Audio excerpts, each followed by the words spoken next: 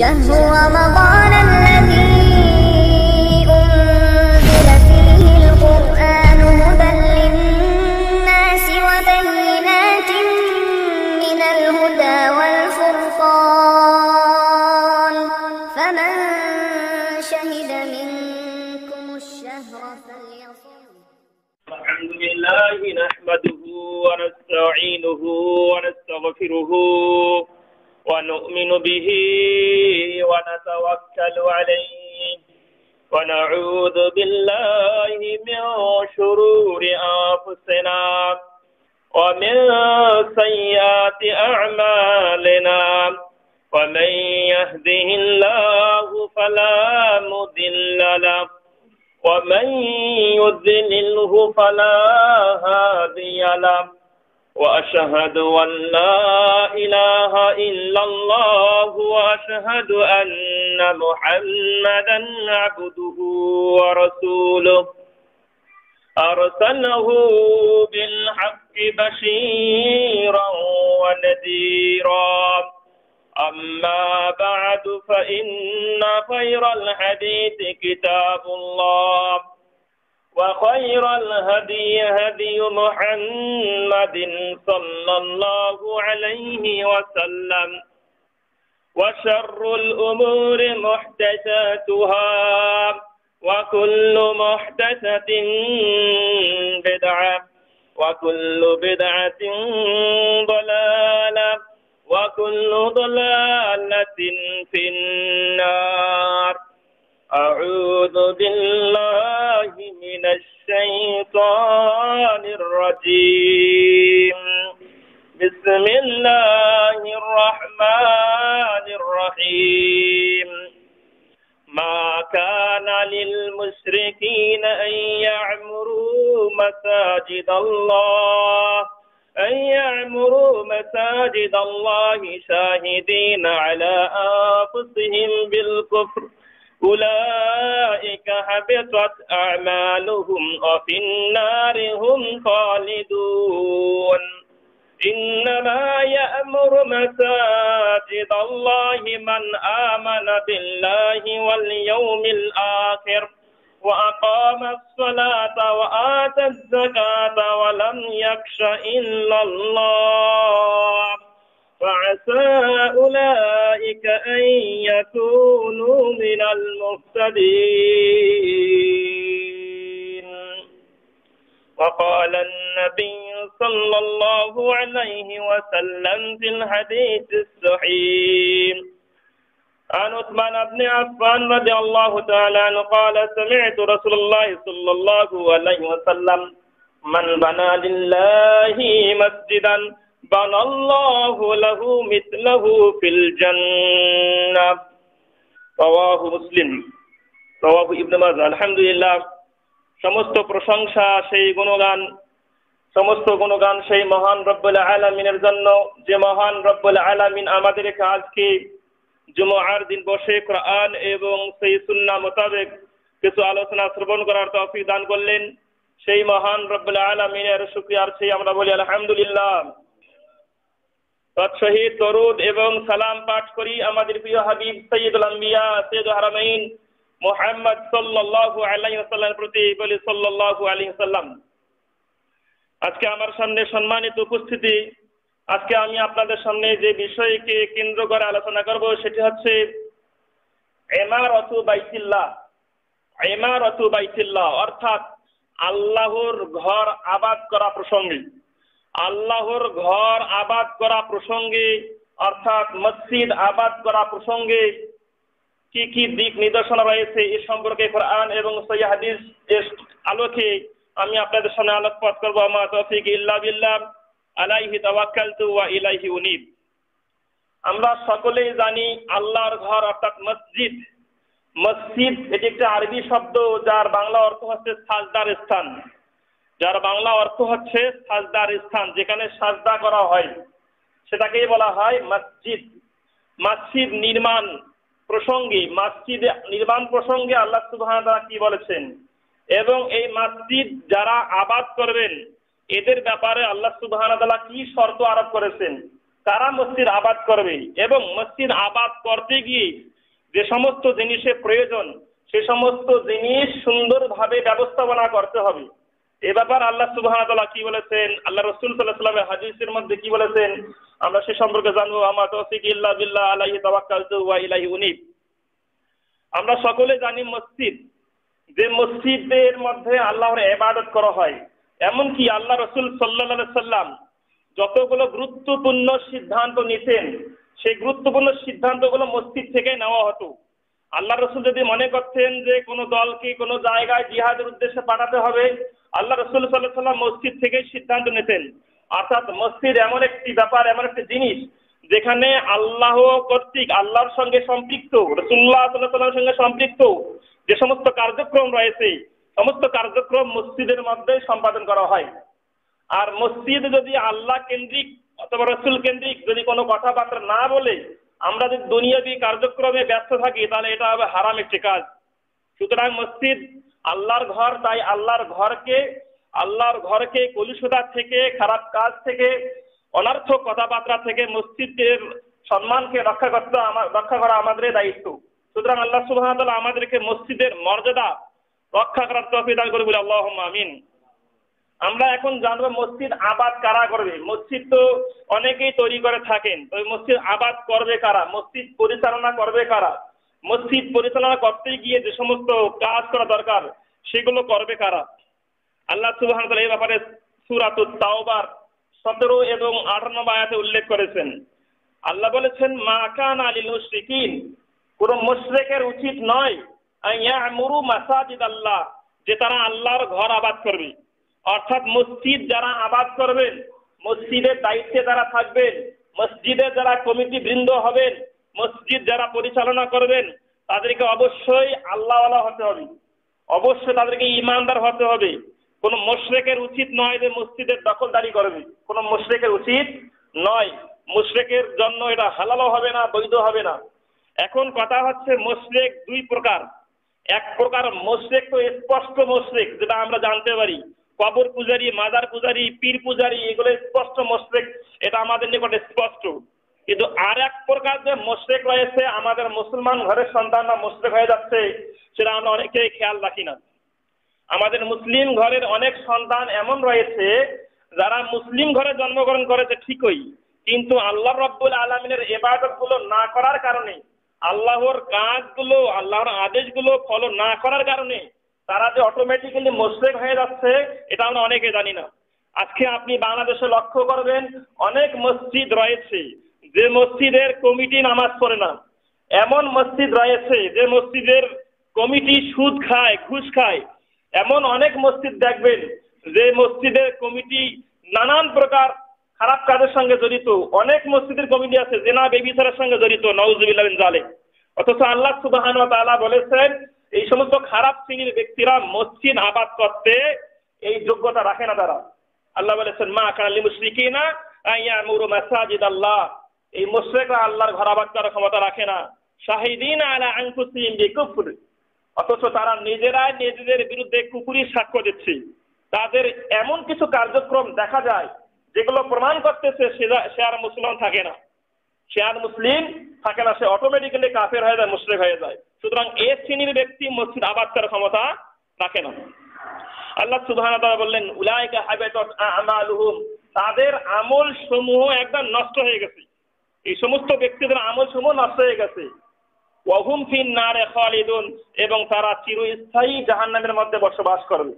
পক্ষান্তরে এখন আমরা যেটি জানব সেটি হচ্ছে মসজিদ আবাদ কারা করবে?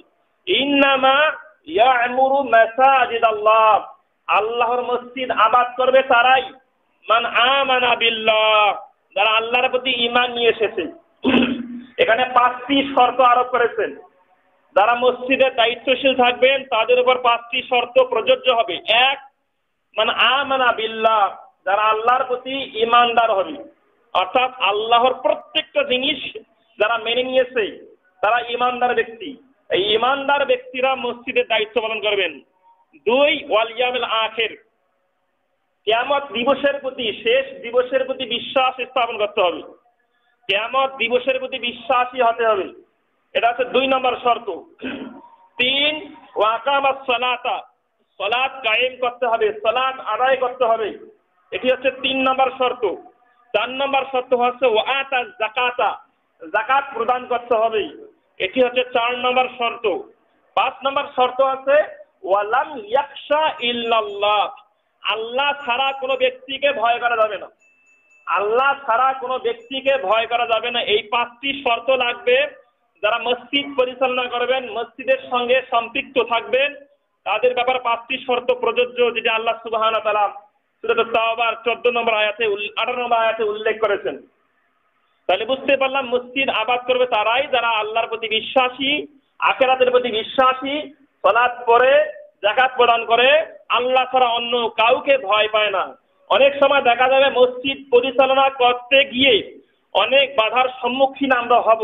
অনেক বিপদের সম্মুখীন আমরা হব। এটা হতে পারে, এটা হতে পারে আর্থিকগত দিক থেকে, এটি হতে পারে মানুষের ভয়ের গত দিক থেকে। যে শত্রু বাহিনী, হকপন্থী মসজিদের ভালো কিছু তারা আশা করে না। শত্রু বাহিনী মসজিদের ভালো জিনিস প্রচার হোক, প্রসার হোক, এটা পছন্দ করে না। এজন্য মসজিদের ওপর তারা অন্যায়ভাবে অত্যাচার করে, মসজিদের অধিবাসীদের ওপর।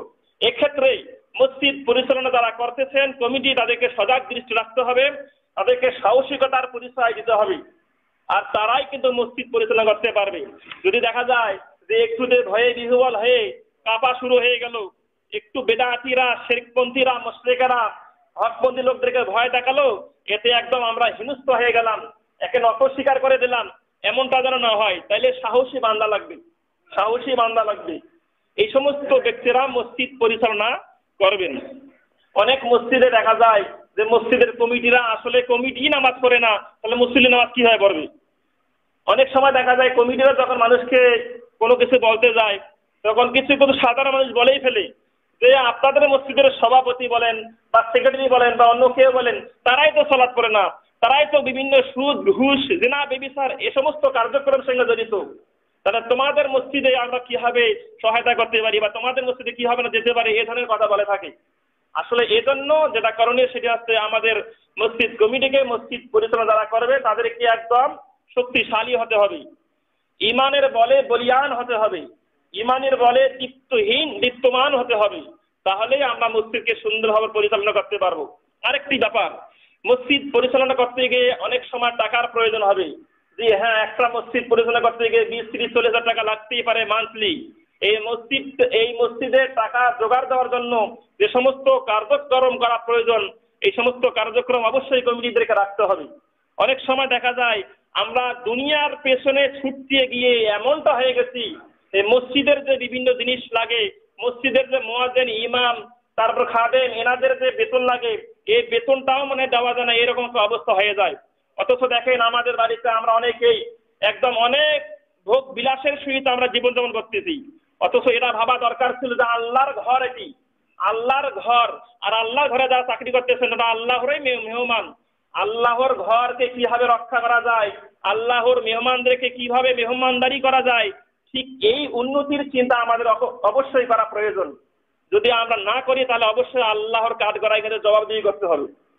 সুতরাং নিজে বাঁচলে বাপের নাম, এই চিন্তা আপনাদের ভেতর থেকে এখনই দূর করুন। আল্লাহকে সন্তুষ্ট করার জন্য আমরা মসজিদ নির্মাণ করি। মসজিদ পরিচালনা করি। একটা মসজিদ কীভাবে সুন্দরভাবে পরিচালিত হবে, একটা মসজিদ কীভাবে মসজিদের লোকদেরকে হেদায়তের দিকে আহ্বান করবে, মসজিদের মুসলিম ইমামগণ, মসজিদের খতিবগণ, সেদিকে আমরা সজাগ দৃষ্টি রাখি। মসজিদের মাধ্যমে যেন আমরা বৈপ্লবিক একটা ঘটনা বা বৈপ্লবিক চিন্তা, চেতনা এখান থেকে শুরু করতে পারি মসজিদ থেকে আমরা মানুষদেরকে হেদায়তের পথে আহ্বান করব। অনেক সময় দেখা যায়, আমরা যে মসজিদে সলাদ করি যে মসজিদে এবাদত করি সে মসজিদ যদি ঠিকভাবে না চলে, সেই মসজিদ যদি এলোমেলো ভাবে চলে, তাহলে মানুষেরাও কিন্তু দিশেহারা হয়ে যাবে। তাই আমাদের উচিত মসজিদকে কীভাবে ভালো করে চলা যায়, সেই চিন্তা রাখতে হবে। আমাদের পরিবারের জন্য যেমন দশ বিশ হাজার টাকা খরচ করি, ঠিক অনুরূপ ভাবে মসজিদ যে একটা পরিবার, এই মসজিদ চালায় যারা, একটা যে পরিবার যে মসজিদ চালায়, তাদেরও দিক নির্দেশনা, তাদেরও চিন্তা একটা আপনাদের করতে হবে। তাদেরও চিন্তা করতে হবে। আল্লাহ রসুল সাল্লাহ আলাইসাল্লাম ইবনে মাজার মধ্যে উল্লেখ করেছেন সহি ইবনে মাজার একটি হাদিসে উল্লেখ করেছেন, সাতশত ছত্রিশ নম্বর হাদিসে উল্লেখ করেছেন, মসজিদ বানানো প্রসঙ্গে মসজিদ বানানো প্রসঙ্গে হাদিসে সকলেরই জানা রয়েছে। আল্লাহ বলেছেন, মান বানা লিল্লাহি মাসজিদান যারা আল্লাহর সন্তুষ্টির জন্য মসজিদ নির্মাণ করে, আল্লাহর সন্তুষ্টির জন্য মসজিদ নির্মাণ করে, বানাল্লাহু লাহু মিসলাহু ফিল জান্নাত। আল্লাহ রাব্বুল আলামিন তার এই রকম একটা ঘর জান্নাতে জন্য নির্মাণ করবেন, সুবহানাল্লাহ। তাহলে আপনি যদি আজকে কোনো মসজিদ নির্মাণ করে দেন, মসজিদ তৈরি করে দেন এবং মসজিদ পরিচালনা করার জন্য টাকা পয়সা আর্থিকভাবে সহায়তা করেন, অবশ্যই আল্লাহ রব্বুল আলমিন আপনার জন্য কাল কেয়ামতের ময়দানে আপনার জন্য জান্নাতের মধ্যে একটা ঘর নির্মাণ করবেন। আল্লাহ সুবহানা তাআলা আমাদের প্রত্যেককেই মসজিদের কল্যাণে এগিয়ে আসা তাওফিক করি বলে আল্লাহ আমিন। মসজিদ পরিচালনা যেমন করবেন ভালো ব্যক্তিরা, ঠিক তেমনই ভাবে মসজিদ পরিচালনা করতে গিয়ে আমাদের মনটাও একটা উদার হতে হবে। মনটাও উদার হতে হবে। আমরা সকলেই জানি আল্লাহ রব্বুল আলমিন এই যে দান সৎকার করার কথা বলা হচ্ছে কোরআন হাদিসের মধ্যে। দান সৎকার কথা কোরআন হাদিসের মধ্যে বলা হচ্ছে। এটা কি আল্লাহ রব্বুল আলমিন নিজের জন্য চাচ্ছেন? যে এক লাখ, দুই লাখ, দশ লাখ টাকা দিলে আল্লাহর উপকার হবে? আল্লাহর বিন্দু পরিমাণ উপকার হবে না। সারা বিশ্বের মানুষ যদি কৃপণ থাকে, সারা বিশ্বের মানুষ যদি আল্লাহর পথে এক টাকাও না দান করে, আল্লাহর বিন্দু পরিমাণ ক্ষতি হবে না। আর সারা বিশ্বের মানুষ যদি কোটি কোটি টাকা আল্লাহর পথে দান করে, কোটি কোটি টাকা আল্লাহর পথে দান করে, তারপরেও আল্লাহ রব্বুল আলমিন বিন্দু পরিমাণ আল্লাহর উপকার হবে না। যা হবে আমাদেরই হবে। সুরাতুল বানী ইসরাইল সাত নবায়াত আল্লাহ বলেছেন, ইন আহসাংতুম আহসাংতুম ফালে আনফুসিকুম। তোমরা যতগুলো ভালো কাজ করবে, যতগুলো উন্নয়নমূলক কার্যক্রম করবে, যতগুলো আল্লাহর পথে সাহায্য দান খয়াত করবে, এটা তোমাদের নিজেদের জন্যই করলে। এটা তোমাদের নিজেদের জন্যই করলে এটাই একদম আল্লাহর অ্যাকাউন্টে জমা হয়ে যাবে। ওয়াইন আসা তুম ফালাহা, যদি কোনো মন্দ কাজ করো, সেটা তোমাদের উপরেই বর্তাবে তাহলে এই আয়াত স্পষ্ট প্রমাণ করতেছে, আমরা যেগুলো দান সদ্গা করব টাকা পয়সা দিব আল্লাহর পথে, এগুলো অবশ্যই আমরা পাবো। আপনি এখনই মারা যান, আপনার যত সম্পত্তি রয়েছে, এই সম্পত্তি নিয়ে যে কত ঝগড়া লাগবে দেখবেন। ছেলেদের মাঝে, মেয়েদের মাঝে অনেক ঝগড়া ভাজা সৃষ্টি হয়ে যাবে। আপনি মারা যাওয়ার সঙ্গে সঙ্গে ভাগ বাটোয়ারা নিয়ে একদম কি হয়ে যাবে? অনেক সমস্যা সৃষ্টি হবে। আর আপনি যেটাই আল্লাহর পথে দান করবেন, আপনি আল্লাহর পথে যেটাই দান করবেন, সেটাই থাকবে আর সেটাই আপনাকে কবর আজাদ থেকে রক্ষা করবে। আল্লাহ রসুল বলেছেন, সেই মুসলিমের দুইশো তেইশ হাদিসে আসদাকাতু বুরহান দান সদাকা হচ্ছে বুরহান স্বরূপ, দলিল স্বরূপ। দান সদাকা হচ্ছে দলিল স্বরূপ। যে দলিলের মাধ্যমে আমরা বিভিন্ন কিছু দাবি করে থাকি তাই আমরা যে দান সদকা করতে পারি, তাহলে আল্লাহর কাছে দাবি করতে পারব যে, হে আল্লাহ, আমার এই যে দলিল রয়েছে, আপনি আমাকে ক্ষমা করুন। আপনি আমাকে জান্নাত দান করুন, এটা আমরা আল্লাহকে বলতে পারব। আমরা সকলেই জানি যে, ইসলামের মত খেদমত করার জন্য অবশ্যই টাকা পয়সার প্রয়োজন রয়েছে।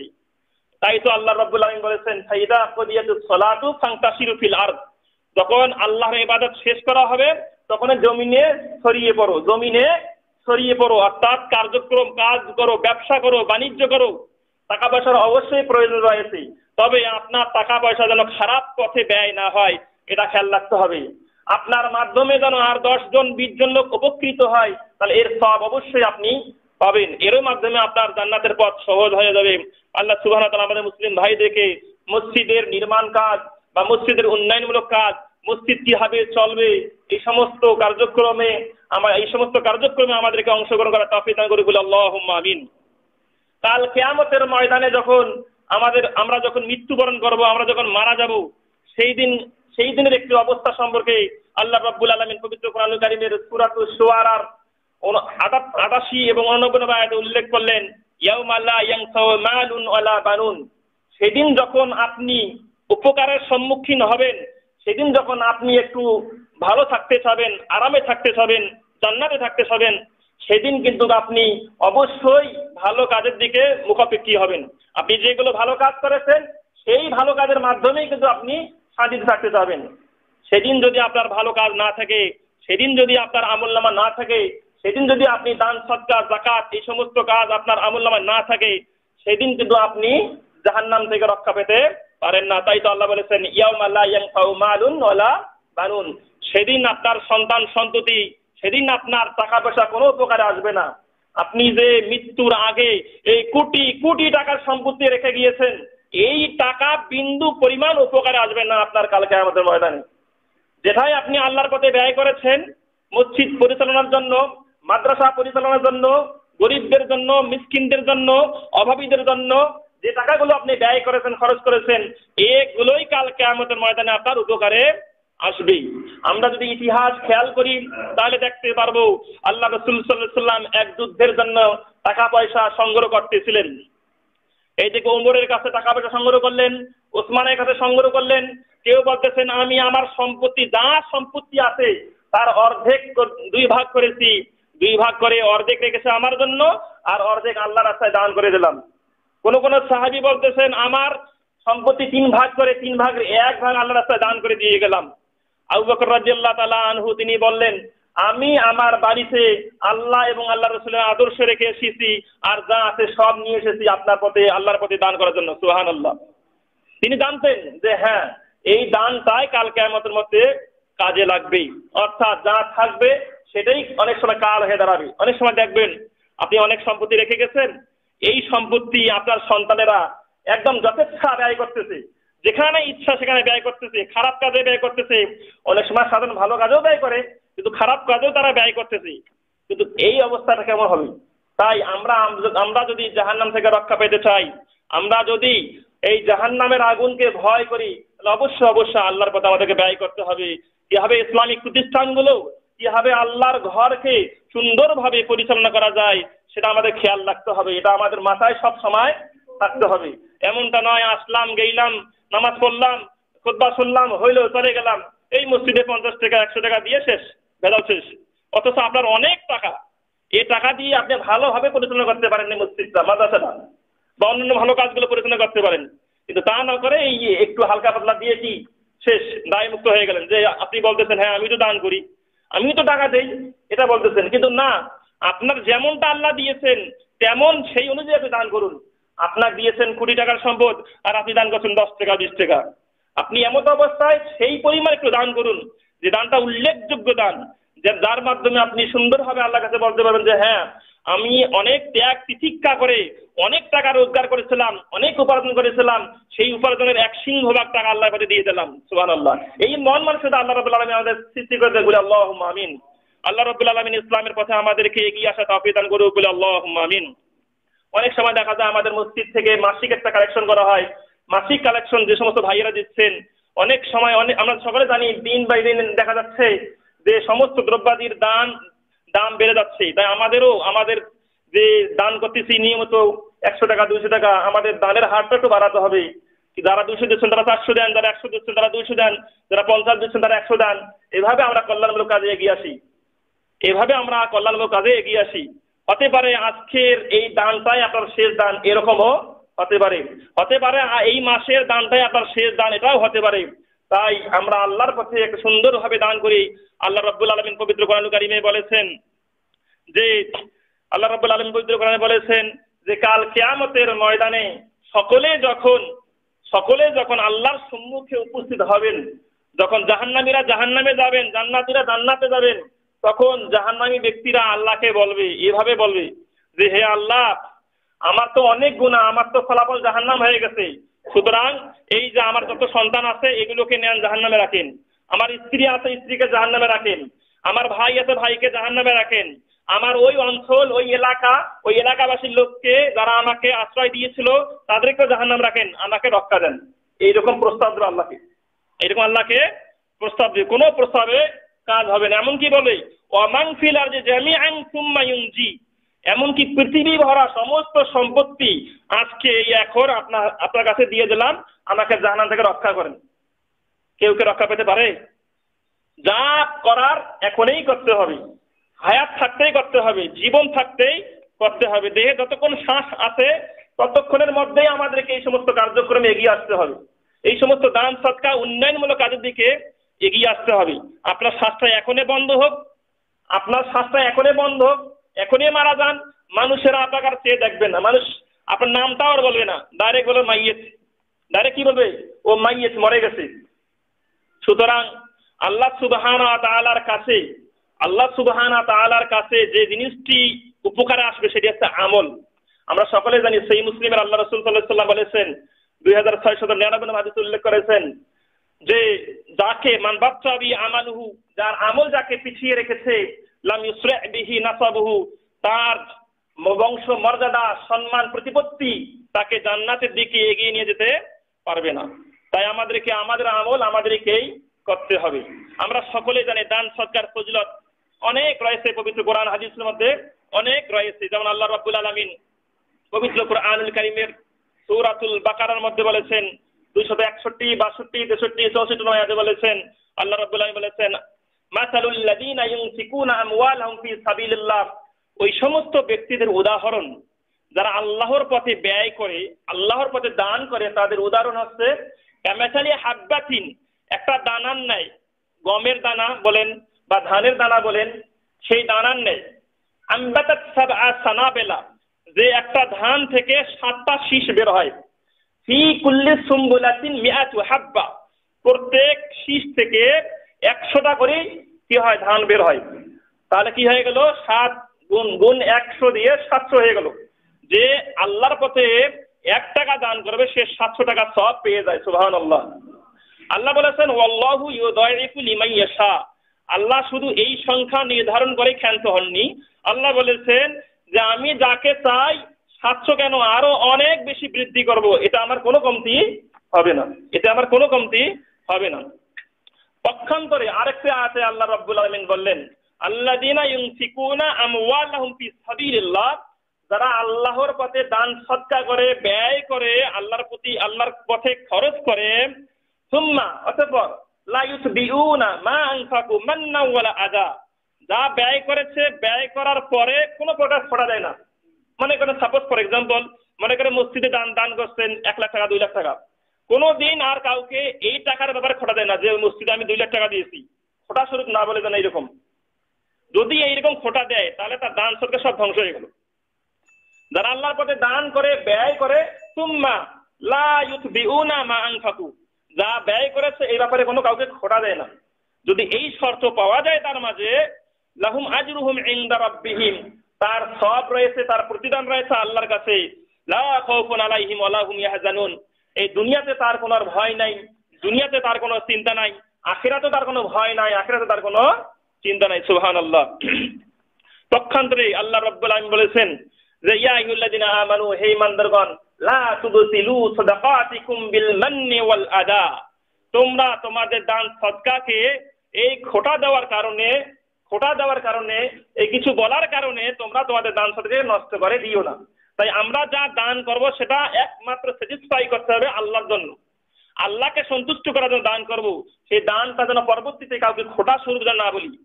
এমন যেন না বলি যে মসজিদটা আমার মসজিদ, মসজিদটা আমার মসজিদ, এইরকম যেন না বলি। যে মসজিদের জমি আমার বা মসজিদের ঘর নির্মাণ করছে আমি, মসজিদ পাঁচ লাখ দশ লাখ টাকা আমি দিয়েছি, এভাবে কোনো দিন যেন আমরা খোটা না দিই। যদি দেই যা দান করি সব ধ্বংস হয়ে যাবে।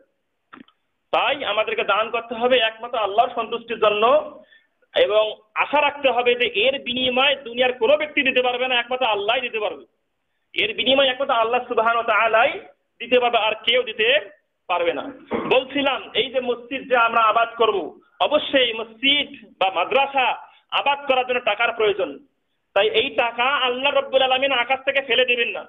আল্লাহ রব্বুল আলমিন আকাশ থেকে টাকার বস্তা ফেলে দেবেন না, টাকা আমাদেরকেই দিতে হবে। টাকা আমাদেরকেই দিতে হবে। ওই যে আমরা একটা ঘটনা করেছিলাম, একটা ঘটনা করেছিলাম, আল্লাহ বলেছিলেন যে, আমি তো পিপাসিত ছিলাম, তুমি তো আমার পানি পান করনি। তখন আমরা আল্লাহকে বলব যদিও ঘটনা তবে হাদিস থেকে বুহারি হাদিস। এটা আমরা অনেক বাংলা বিয়ে পড়েছিলাম। আল্লাহ বলবেন যে, আমি পিপাসিত ছিলাম, তুমি আমাকে পান করনি। আমি ক্ষুধার্ত ছিলাম, তুমি আমাকে খাওয়াওনি। তখন বান্দা বলবে হে আল্লাহ, আপনি তো মানুষকে খাওয়ান, আমি তোমাকে কীভাবে খাওয়াবো? তখন আল্লাহ বলবেন, ওই দেখো নাই, ক্ষুধার্ত ব্যক্তি, তুমি যদি তাকে খাওয়াইতে, তাহলে আমাকেই খাওয়ানো হতো। ওই যে পিপাসিত ব্যক্তি, তাকে যদি পানি পান করাইতে, তাহলে আমাকেই পানি পান করা হতো। তাই এই যে ভালো কাজগুলোতে দান করা মানে আল্লাহকে এগুলো দেওয়ানো। তাই তো বলা হয় যে আল ইনসাফ ফি সাবিলিল্লাহ আল্লাহ রাস্তায় দান করা। আসুন, আমরা আল্লাহ রাস্তায় দান করি। এর বিনিময়ে আল্লাহ সুবহান ওয়া তাআলা আমাদের সকলকে জান্নাত দান করুক বলে আল্লাহুম্মা আমিন। যে সমস্ত কাজ আপনার মৃত্যুর পরে উপকার দেবে, সে সমস্ত কাজ করা প্রয়োজন। আপনি এখন আছেন, অনেক সময় দেখা যায়, ঢাকায় বা বিভিন্ন অঞ্চলের কথা শোনা যায়, যে কোটি, কোটিপতি লোক, কোটি, কোটিপতি লোক, কত টাকা আছে তার হিসাব নেই তার কাছে। হঠাৎ করে হার্ট অ্যাটাক করল। হঠাৎ করে হার্ট অ্যাটাক সঙ্গে সঙ্গে মারা গেল। সঙ্গে সঙ্গে মারা গেল। কাল কেয়ামতে তার কি উপকার দেবে? এই টাকা পয়সাকে উপকার দেবে যেটা রেখে গেছে? না, যেটা উপকার দেবে সেটি হচ্ছে যা তিনি নিজেই ব্যয় করেছেন, যা আল্লাহর পথে রেখে গিয়েছেন, এগুলো উপকার দেবে। আর কি কি উপকার দেবে? একটা হাদিস শুনি আমরা। ইবনে মাজার দুইশত বিয়াল্লিশ হাদিসে উল্লেখ রয়েছে। আল্লাহ রসুল বলেছেন, ইন্না মিম্মা ইয়ালহাকুল মুমিনা মিন আমালিহি ওয়া হাসানাতিহি বাদা মাউতি। আল্লাহ রসুল বলেছেন, একজন মুমিন ব্যক্তি তার মৃত্যুর পরে যে সমস্ত কাজের উপকার পায়ছে মৃত্যুর পরে মারা গিয়েছেন, তবে অটোমেটিক্যালি উপকার সে পেতেই থাকে পেতেই থাকে। সেগুলো হচ্ছে, আল্লাহ রসুল বলেছেন, এলমান, এমন এলেম আল্লামাহু, যে এলেম, যে জ্ঞান, তা মানুষদেরকে শিক্ষা দিয়ে গেছেন। অথবা নাসারাহু, যে জ্ঞান, তা প্রসার প্রসার করে গিয়েছেন এর সওয়াব সে ব্যক্তি কবর থেকেই পেতে থাকবে, ইনশাআল্লাহ। আরেকটা জিনিস সেটা হচ্ছে, ওয়ালাদান সালিহান তারাকাহু। নেক সন্তান, ভালো সন্তান পরহেজগার সন্তান যে সন্তানকে রেখে গিয়েছে, সে সন্তান তার বাবার মৃত্যুর পর বাবার জন্য দোয়া করে সেই দোয়াটা কাজে আসবে।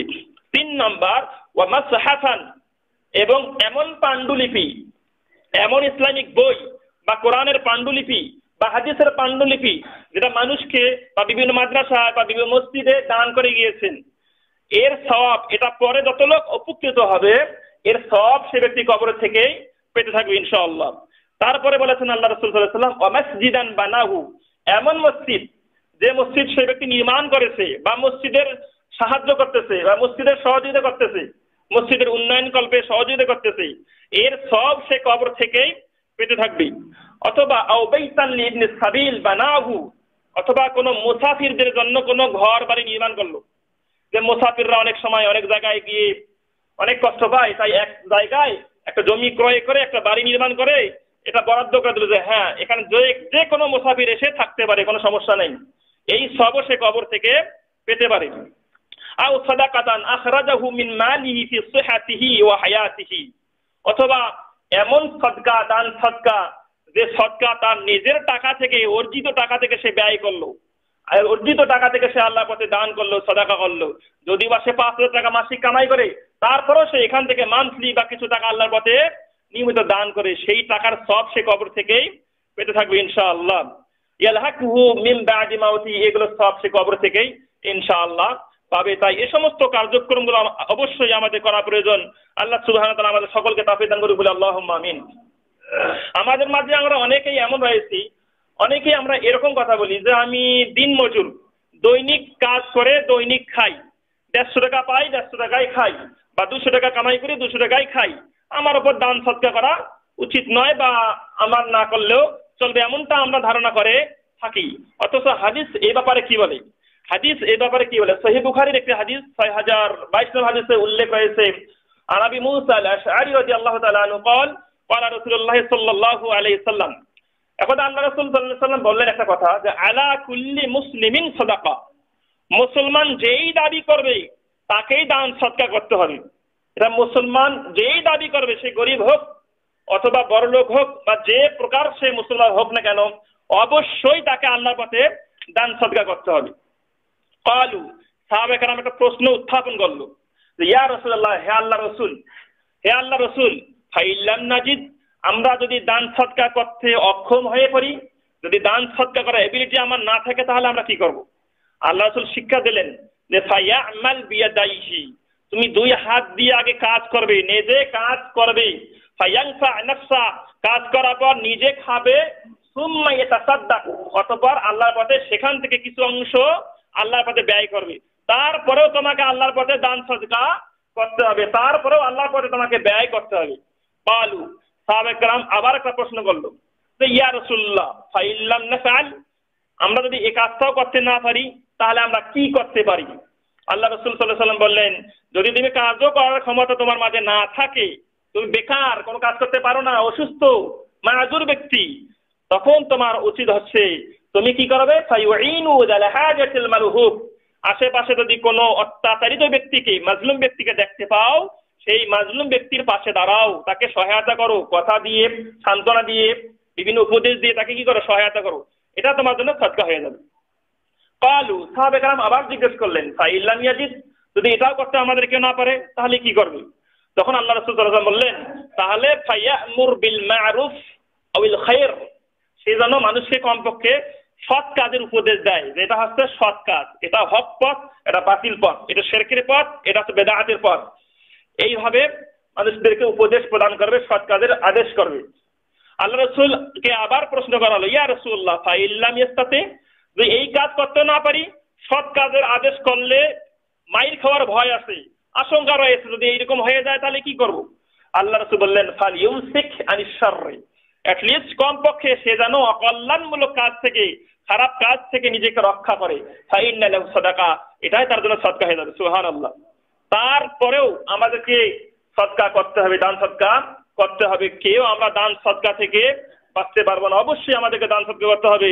আল্লাহ সুবহান আমাদের সকলকেই আমাদের সাধ্য মোতাবেক আখেরাতকে প্রাধান্য দিয়ে, দুনিয়ার চেয়ে আখেরাতকে প্রাধান্য দিয়ে আল্লাহর পথে বেশি বেশি দান সদকা করা তৌফিক দান করুক বলে আল্লাহুম্মা আমিন। একদিন আল্লাহ রসুল সাল্লাল্লাহু সাল্লাম মানুষদের সামনে কোরআনে একটা আয়াত করতেছিলেন। একদিন আল্লাহ রসুল সাল্লাহ মানুষদের সামনে কোরআনে একটা আয়াত তেলাওয়াত করতেছিলেন। হাদিসটি সেই মুসলিমের সাত হাজার ছয়শত নয় নম্বর উল্লেখ রয়েছে। আয়াতটি হচ্ছে এই আয়াত, আমাদের অনেকেরই মুখস্থ রয়েছে। আল্লাহ বললেন আল্লাহ কুমুত্তাকাসুর অর্থাৎ, ধন সম্পত্তির ভালোবাসা, মহাব্বত তোমাদেরকে ধ্বংস করে ফেলেছি। তোমাদেরকে আল্লাহর পথ থেকে উদাসীন করে ফেলেছি। এই আয়াতটা আল্লাহ রসুল একদিন তেলাওয়াত করলেন। সাহাবি বলতেছেন, আমরা আমাদের সাহাবারা, আমরা অনেকেই বলতে লাগলাম যে মালি মালি, অমুক মাল আমার, তমুক মাল আমার, অমুক সম্পত্তি আমার, অমুক বাড়িটা আমার, অমুক জমি আমার, এগুলো আমরা একে অপরে, পরস্পরে আলোচনা করতেছিলাম। আল্লাহ রসুল বললেন, ইয়া ইবনা আদম হাল্লাকা মিন মালিকা ইল্লা মা আনফাক্তা? হে বানি আদম, তুমি কি মনে করো তোমার কাছে যেগুলো সম্পত্তি আছে, এগুলো তোমার সম্পত্তি? এটা কি তুমি মনে করতেছো? তখন তারা বলল হ্যাঁ এগুলো তো আমার সম্পত্তি। এই যে বাড়ি, এই যে দনকা দন, বিঘা কা বিঘা জমি, এটা তো মালিক আমি। এই যে বড় বড় দশতলা, বিশতলা বিল্ডিং এর মালিক, এটা তো আমি। এগুলোর মালিক তো আমরাই। আল্লাহ রসুল বললেন যে, না, এগুলোর মালিক তোমরা নও। আল্লাহ রসুল বললেন একটি কথা, মা আকালতা, তোমরা যা খাচ্ছ প্রয়োজনের তাগিদে যা খাচ্ছ, খাবার গ্রহণ করতেছো, এটা খাওয়ার পর যে শেষ করতেছো, এটা হচ্ছে তোমাদের সম্পত্তি।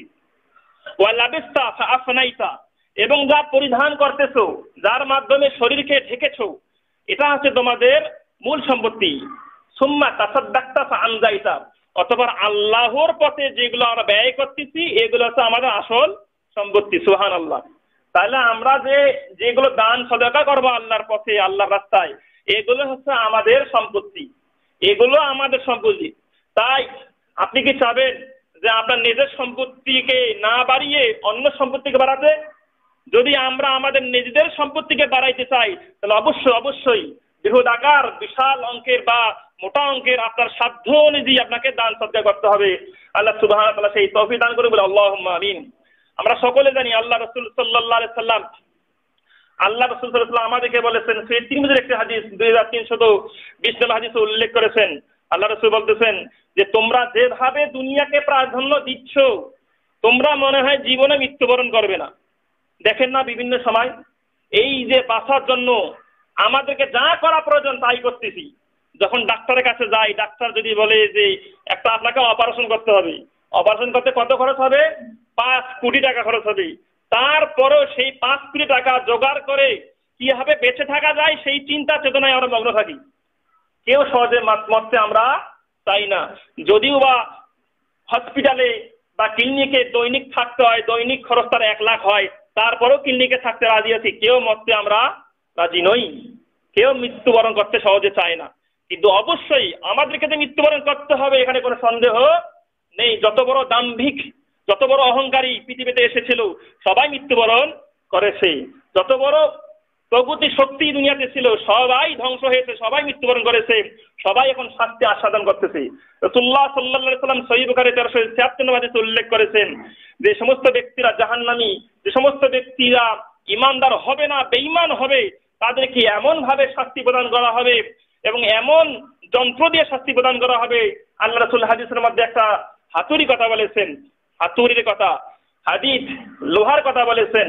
লোহার বৈশিষ্ট্য বললেন যে লৌদুরি বা বিহা জাবানুল্লাহ সরা তুরাবান। এমন হাতুড়ি দিয়ে আমাদেরকে পিটানো হবে।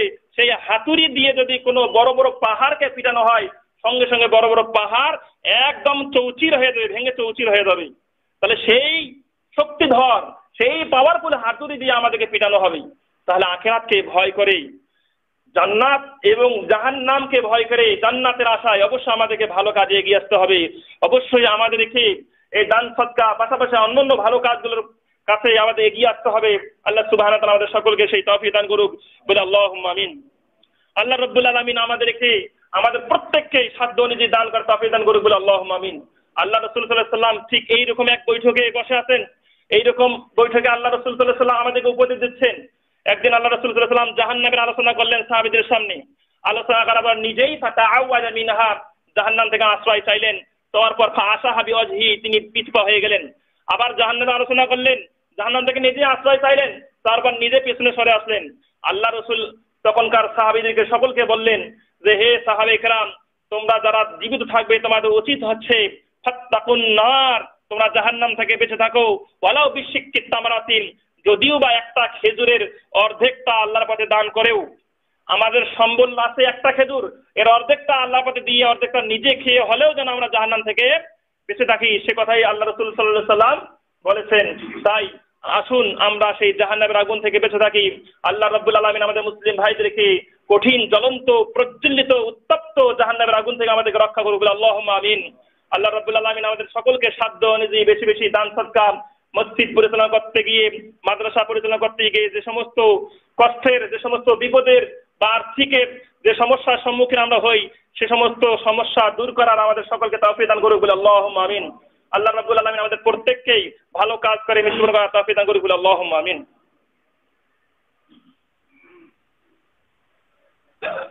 إن الحمد لله والصلاة والسلام على من لا نبي بعده أعوذ بالله من الشيطان الرجيم. إن الله وملائكته يصلون على النبي. يا أيها الذين آمنوا صلوا عليه وسلموا تسليما. اللهم صل على محمد وعلى آل محمد كما صليت على إبراهيم وعلى آل إبراهيم إنك حميد مجيد. اللهم بارك على محمد وعلى آل محمد كما باركت على إبراهيم وعلى آل إبراهيم إنك حميد مجيد. আজকে আমরা এতক্ষণ যাবৎ যে সংক্ষিপ্ত পরিসরে দান, সৎকার, গুরুত্ব, মসজিদ পরিচালনার গুরুত্ব সম্পর্কে আলোকপাত শুনলাম। আল্লাহ সুবহান ও তাআলা আমাদের প্রত্যেক ভাইদেরকে আমল করা তৌফিক দান বলে আল্লাহুম্মা আমিন। কারণ আমরা যদি শুনেই যাই আমল না করি, তাহলে সেই শোনা কোনো কাজে আসবে না। অনেক সময় আল্লাহ রসুল সাল্লাহ একটা মূলনীতি বলেছেন যে অকালু সামেনা ও আতানা। মুসলিমদের গুণ হচ্ছে, তারা বলে যে, শুনলাম এবং আমলে নিয়ে আসলাম। শুনলাম আমলে নিয়ে আসলাম। আর ইহুদিদের একটা বৈশিষ্ট্য হচ্ছে, তারা বলে আমরা শুনলাম এবং অবাধ্য হলাম। এখানে শুনে শেষ, এ বের হয়ে গেলাম, আর আল্লাহ বিল্লা নাই। আল্লাহর ইবাদত বলতে কোনো ইবাদত আর নাই। প্রত্যেক শুক্রবারে বা জুমুয়ার দিন এসে শুধু হাজিরা দিয়েই চলে যায় প্রত্যেক জুমুয়ার দিন হাজিরা দিয়ে মনে করতেছি, আমি মনে হয় জাহান্নাম থেকে বেঁচে গেলাম। আমি মনে হয় জাহান্নাম থেকে বেঁচে গেলাম। এরকম একটা কুধারণা আমাদের সমাজে প্রচলিত রয়েছে। এটাকে অবশ্যই ঠিক করতে হবে। অবশ্যই আমাদেরকে অবশ্যই আমাদেরকে আমল করতে হবে। আমরা সকলে জানি, আমার আমল নামা যদি না থাকে, আমরা কিন্তু কখনো জান্নাত পেতে পারি না। তাই আমল করতে হবে। যতক্ষণ আমার আপনার যে শ্বাস আছে, ততক্ষণে আমলের সুযোগ। এই শ্বাসটা চলে যাওয়ার পরেই আর কোনো আমল তখন কাজে আসবে না। যেগুলো আগে বললাম, সেগুলো খারাপ আল্লাহ সুবহান তাআলা আমাদের মুসলিম ভাই ভাইদেরকে আমল করা তৌফিক দান করে বলে আল্লাহ আমিন। আল্লাহ সুবহান তাআলা আমাদের মুসলিম ভাইদেরকে পাঁচ ওয়াক্ত সালাত জামাত সহকারে পড়ার তৌফিক দান করে বলে আল্লাহ আমিন। আল্লাহ সুবহান তাআলা আমাদেরকে আখিরাতকে দুনিয়ার চেয়ে প্রাধান্য দেওয়ার তৌফিক দান করে বলে আল্লাহ আমিন। আখেরাতকে, দুনিয়ার চেয়ে প্রাধান্য তারাই দিতে পারবে, যারা আল্লাহর কাজ করতে পারে। আর আখেরাতকে প্রাধান্য না দিয়ে দুনিয়াকে আখেরাতের চেয়ে তারাই প্রাধান্য দেয়, এটা চেনার একটা উপায় হচ্ছে দেখবেন, এটা চেনার একটা উপায় হচ্ছে আশেপাশে দেখবেন আপনি এই মসজিদে আসরের সলা থেকে আসে। যদি দেখেন যে আসরের সলাতে কেউ সলাৎ করতে আসলো, এখানে হোক বা যেখানে হোক সলাৎ করতেছে তাহলে সেই ব্যক্তিকে বুঝবেন যে সেই ব্যক্তি অবশ্যই আখেরাতকে প্রাধান্য দিয়েছে। আর যদি দেখেন যে না, এই যে ওয়াজ শোনার পর শেষ, ঘুমাইলাম শেষ, কাজকর্মে বিভিন্ন গান বাজনা, খারাপ কাজে বেবিসারে বিভিন্ন খারাপ কাজে লিপ্ত হলাম আল্লাহ বিল্লাহ বলতে আর কিছু নাই। সামনের শুক্রবার আসলে আবার দেখা হবে ইনশাআল্লাহ। এরকম চিন্তা চেতনা থাকলে মনে করবেন সেই ব্যক্তি আখের কাছে দুনিয়াকেই প্রাধান্য দিয়েছে। আল্লাহ সুবাহ আমাদের প্রত্যেক ভাইদেরকে, প্রত্যেক মুসলিম ভাইদেরকে মৃত্যুকে ভয় করে, জাহান্নামকে ভয় করে আখেরাতকে দুনিয়ার চেয়ে প্রাধান্য দেওয়া তফি দান করে বলে আল্লাহ আমিন। আল্লাহ সুবাহ আমাদের মুসলিম ভাইদের ভুল ভ্রান্তি গুণাগুলো গুণা খাতাগুলো পাপগুলো পোষণ করে দেখবে আল্লাহ আমিন। একজন ব্যক্তি যদি আল্লাহর পথে খাঁটি ভাবে তওবা করে, আগে অনেক গুণা করেছে, অনেক খারাপ কাজ করেছে, অনেক শেরকি আমল করেছে, অনেক বেদাতি আমল করেছে, অনেক খারাপ কাজ করেছে, যার কোনো বলে শেষ করার মতো নয় একজন ব্যক্তি যদি খাঁটি তওবা করে তওবা তো নাসুহা করে, খাঁটি তওবা কাকে বলে? যে কাজগুলোকে করতো, সে কাজ আর কখনো করা যাবে না। সেই কাজের প্রতি অনুতপ্ত হতে হবে এবং এই সিদ্ধান্ত নিতে হবে, আমার পক্ষ থেকে সেই খারাপ কাজগুলো আর যেন জীবনে না হয়। এই খাঁটি যারা যারা করবে এই খাঁটি তওবা যদি আল্লাহ যদি কবুল করে, তাহলে আগের যেগুলো পাপ আছে, সব পাপকে সবে পরিবর্তন করে দেবেন আল্লাহ সুবহানাহু ওয়া তাআলা। ইউবাদদিল্লাহু সাইয়্যাতি হাসানাত আল্লাহ রাব্বুল আলামিন গুনাহ খাতাগুলো একদম পরিবর্তন করে দেবেন, সুবহানাল্লাহ। আল্লাহ সুবহানাহু তাআলা আমাদেরকে ভালো কাজে, কল্যাণমূলক কাজে, ইসলামিক কাজে এগিয়ে আসা তৌফিক দান করুক বলে আল্লাহুম্মা আমিন। আল্লাহ সুবহানাহু তাআলা আমাদের মুসলিম ভাইদেরকে হেদায়েত দান করুক বলে আল্লাহুম্মা আমিন। হেদায়েত থাকে আল্লাহর পথে, আল্লাহ সুবহানাহু তাআলা আমাদের সকলকে হেদায়েত দান করুক বলে আল্লাহুম্মা আমিন। পরিশেষ বলতে চাই, আল্লাহ সুবাহ আমাদের প্রত্যেক ভাইদেরকে ইমান নিয়ে, আমল নিয়ে কবর যাতা অফিদান করুক আল্লাহ মামিন সুবহানাক আল্লাহ বিহামদিকা আশহাদু আল্লা আল্লাহ ইল্লা আনতা, আস্তাগফিরুকা ওয়া আতুবু কুমুল সালাহ Allah